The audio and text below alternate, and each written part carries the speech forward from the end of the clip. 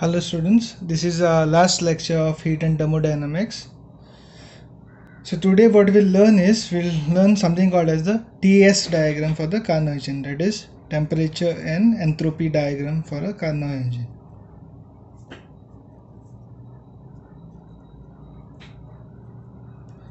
In the previous lectures what we have already started is the PV diagram for a Carnot cycle. So PV diagram looks something like this.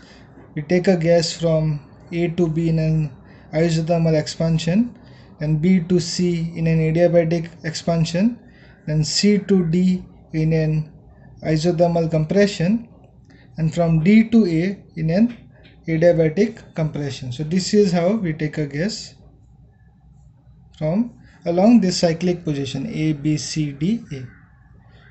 So today we will learn to draw what is called as a TS diagram. Just as we have a PV diagram for a Carnot cycle, we have another type of diagram called as the TS diagram. So where T represents the temperature, S represents the entropy. Now if you remember, for uh, isothermal expansion, we had found that the change in entropy is equal to nr ln vb by va so this was a change in entropy and this is a positive number so that means in going from here to here from a to b the entropy is positive the change in entropy is positive that means this is increasing that means the entropy is increasing and if we have to plot this on a ts diagram what we know is for an isothermal process the temperature in going from from a to b is constant so and the entropy keeps on increasing. So the plot will look something like this. At point A, we start at point A. Since temperature is constant and uh, S is increasing, we will reach a point B in a straight line. Then for process BC, we know that the change in entropy is zero for an adiabatic process.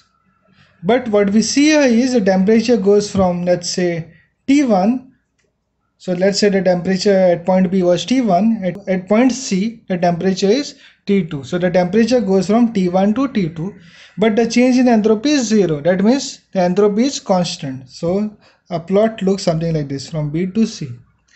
And same way as we did in the isothermal expansion we get a straight line where entropy is decreasing in going from C to D and from D to A again a change in temperature but entropy remains constant. So this is how a TS curve looks like for an Carnot cycle. Just as in this case we had applied a heat Q1 and, and the heat was rejected let's say Q2 same way we have to show the heat input and heat output in, in the TS diagram. Now in our next topic we will discuss a problem which I had already given to you all as an example for explaining entropy. If you recollect I had considered a box which is partitioned at one end and I filled it with a gas. And what we know about the system is that the system is insulated. So there is no heat flow coming going into the box or coming out of the box. And what I do is I remove the I remove the partition and I let the gas expand. So once I remove the partition, what we see is the gas expands all over the box and we know that this process is irreversible. We'll never see that the gas which is expanded just as in this case will automatically starts compressing and just occupies the left hand of the box. We will never see this happening. So in free expansion when the gas expands the vacuum doesn't exert any force to oppose the gas. So the gas does no work when it expands. And therefore the internal energy when the gas goes from this state to this state, the internal energy doesn't change. That means the temperature of the system remains constant. Now if I have to draw the PV diagram for the gas states, so let's say a PV diagram will look something like this. So this state of the gas, let's say this is called let's call this state 1, it is here and when the gas expands it goes into state 2 so let's say the state 2 is here. After the volume has increased and the pressure has decreased. Now again you'll remember you also remember that when i'm plotting this states on a pv diagram these are the equilibrium positions. So in between when the gas has finally reached this state in between states we cannot plot. They off the plot. Now what will be the change in entropy if when the gas goes from this state to this state we know that the change in entropy is given as the change in entropy is given as the, the heat supplied divided by the temperature.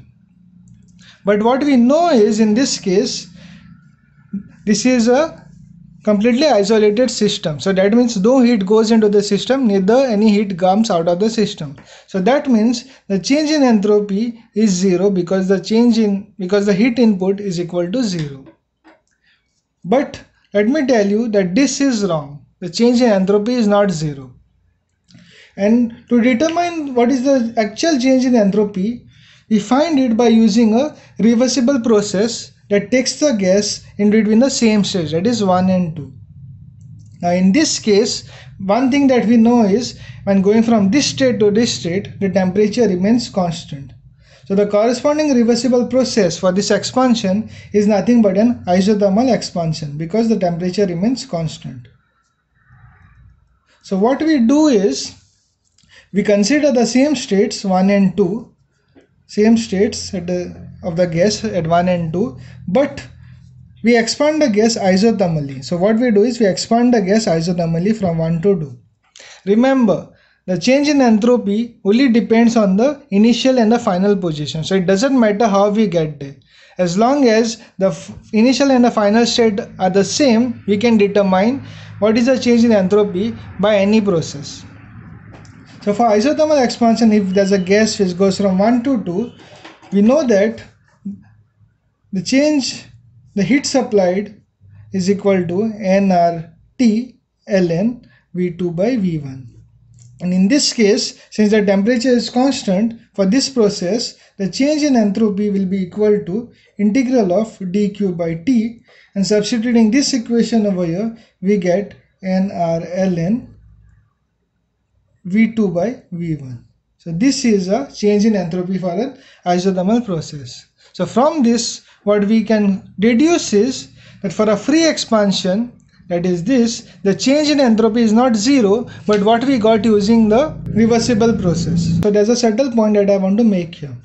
So let us consider the isothermal expansion of a gas which goes from this state to this state. So for an isothermal expansion a setup will be something like this so we'll be having a container which is kept on a reservoir at say temperature T and the container has a partition which is nothing but acting as a piston and on this partition let's say there are some weights and there is the gas inside the and there is the gas inside a container when we carry this out in an isothermal expansion so what we do is we remove some weight some heat has to be supplied such that its temperature remains constant. So the heat is supplied from the reservoir.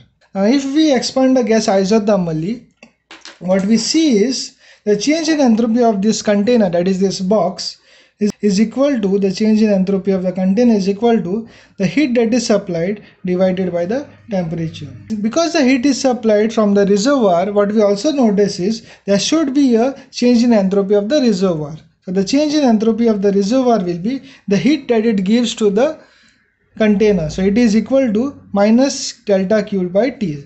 I've written a negative sign because it is giving out heat and here it is positive because it is taking in heat. So if this is the case, so for this system, the net entropy, the net entropy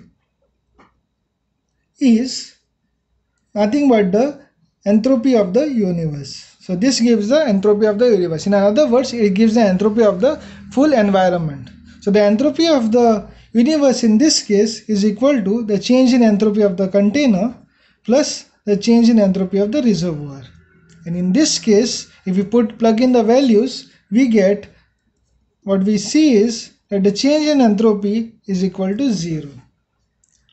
So what we see is when we expand the gas isothermally, the entropy of the universe is equal to 0. But if we expand the gas as a free expansion as in this case, we see that the entropy of the gas it is equal to this. So this is a change in entropy of the universe and we see that this is greater than 0. So what we see is for a reverse for a reversible process as in this case the change in entropy of the universe usually is equal to 0. But for a irreversible process we see that the change in entropy is greater than 0. From this what we can deduce is the entropy increases during an irreversible process and the system loses its ability to do work. Now if we consider this isothermal expansion, the work that would have been done when the gas pushes the piston would have been this much.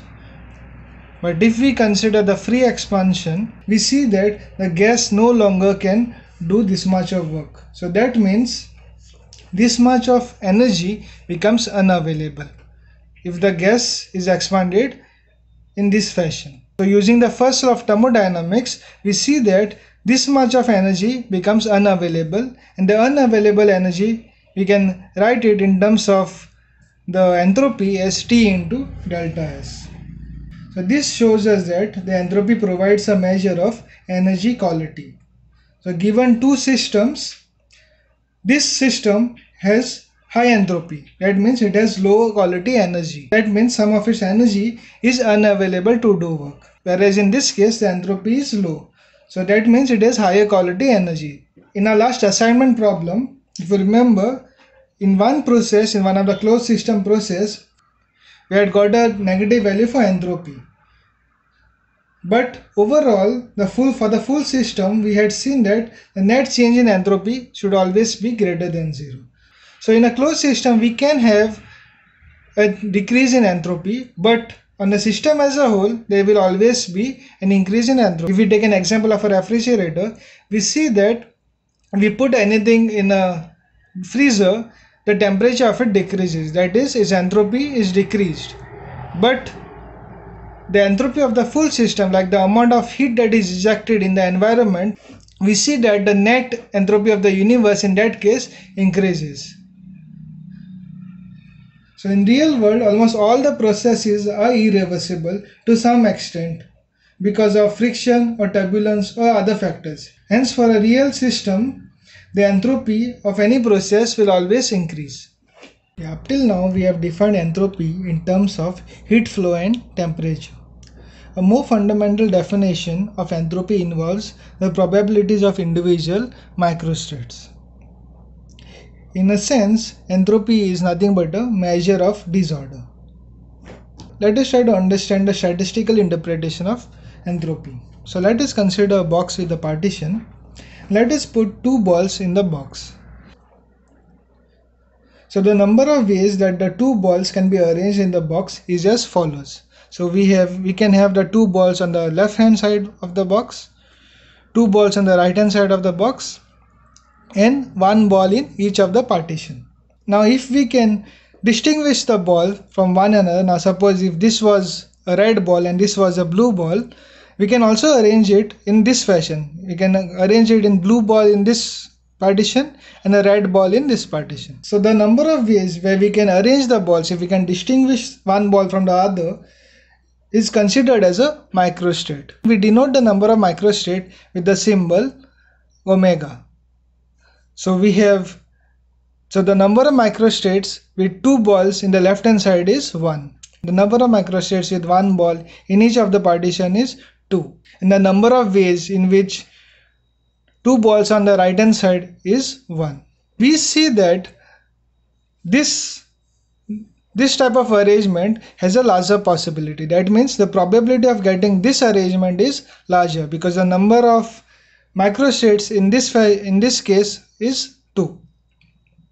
If the balls are indistinguishable, suppose if both of them are of the same color, then we don't call the states as micro microstate but we consider them to be macrostates.